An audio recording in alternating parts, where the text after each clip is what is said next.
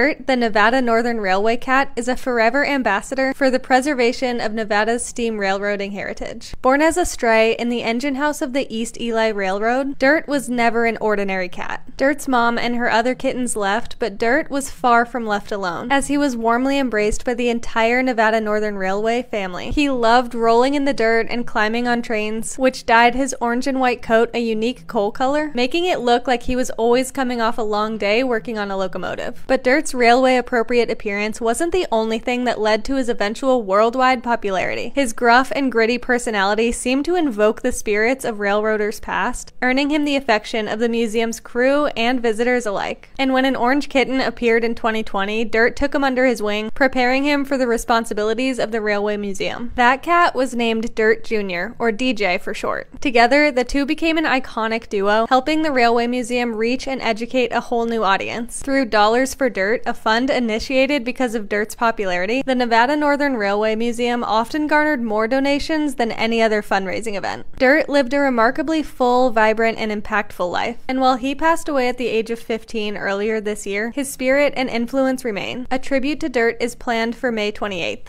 and plans to cement his legacy include the installation of two life-size bronze dirt statues, allowing him to forever look over the train yard. And as Dirt's paw prints continue to mark the railway, DJ ensures that his mentor's legacy lives on. I'm Jen, and I post positive stories every day. And you can follow along with DJ's adventures and learn more about Dirt's upcoming tribute on the Northern Nevada Railway page, which is in the caption.